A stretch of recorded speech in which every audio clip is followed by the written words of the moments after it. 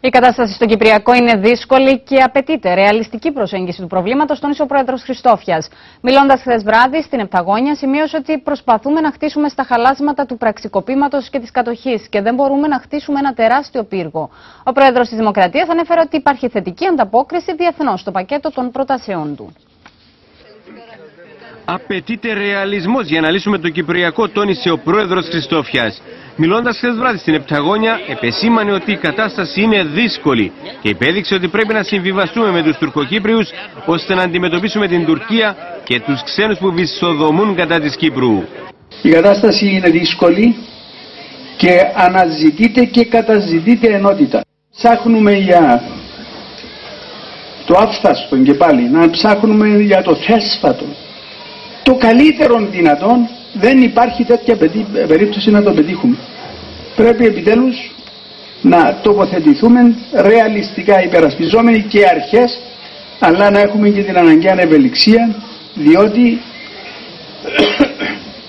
πάμε να χτίσουμε πάνω στα χαλάσματα του πραξικοήματος της εισβολής και της κατοχής. Θέλουμε γερά θεμέλια μεν αλλά να έχουμε υπόψη μας ότι πύργων τεράστιων δεν μπορούμε να χτίσουμε.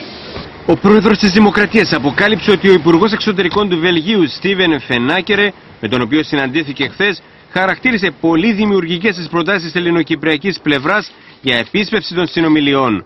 Ο πρόεδρος Χριστόφιας εξέφραζε την ευχή το τρίπτυχο προτάσεων που υπέβαλε να αποτελέσει και καλή βάση συζήτησης στο Εθνικό Συμβούλιο ώστε να επέλθει η ελάχιστη εθνική ενότητα δημιουργικές οι οποίες μπορούν και να επισπεύσουν τη διαδικασία των συνομιλιών και να δώσουν λύσεις σε πολλά ζητήματα.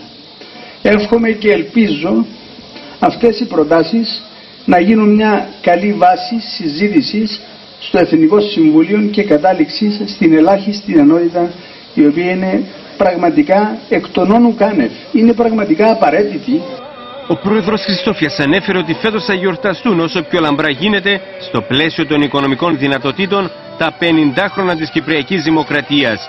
Πρέπει τόνισε να υπερασπιστούμε την οντότητα της Κυπριακής Δημοκρατίας και να την παρουσιάσουμε διεθνώς.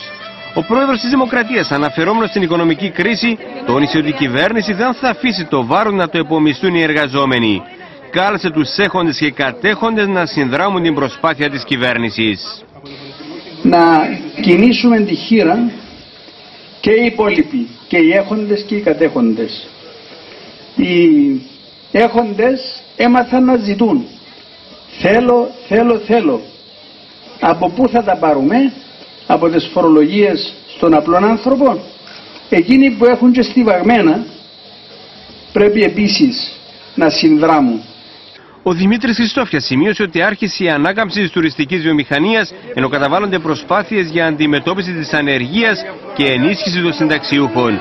Κατά την καλλιτεχνική εκδήλωση Λαϊκό Συναπάντημα που διοργάνωσε το Κοινωνικό Συμβούλιο Επταγόνια, τιμήθηκαν οι μαθητές που αρίστευσαν. Ο πρόεδρος Χριστόφιας πρόσφερε 500 ευρώ σε κάθε μαθητή. Τα συνεδρία των αποδήμων